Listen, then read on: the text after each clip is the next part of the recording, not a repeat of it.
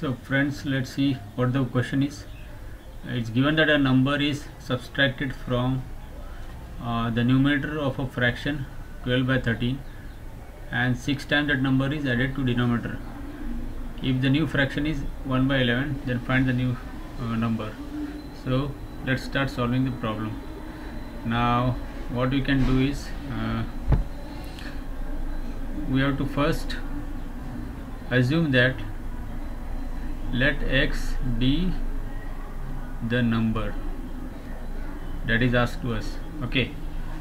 So we have assumed that number that is been added or subtracted from the numerator. Okay. Now further what can be done is that according to the given information let's formulate the equation. How this would proceed is uh, what is given to us is 12 by 13 is the fraction. So we subtract that number x and at the denominator what we do is we add 6x okay. And the new fraction that is formed is given as 1 by 11 so now this equation is formed. Now let us solve this equation. How this can be solved? We have to cross multiply okay? Now this will be multiplied with this and this with this. So let's do it.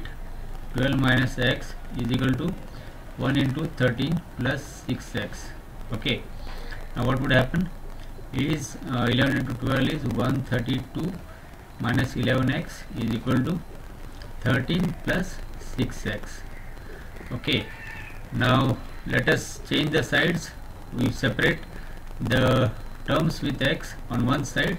Therefore minus 11x minus 6x is equal to 13 minus 132 now this would add up to minus 17 x is equal to and 132 minus uh, 13 would give us minus 119 okay. So therefore x is equal to now this uh, negative signs should get cancelled. What remains is 119 by 17 so this is 17 1 the and 17 7 the. You know it. Okay. X is equal to 7 so so this is the answer. Now according to the given information the number we obtain is x that is value of x is 7 okay. Uh, now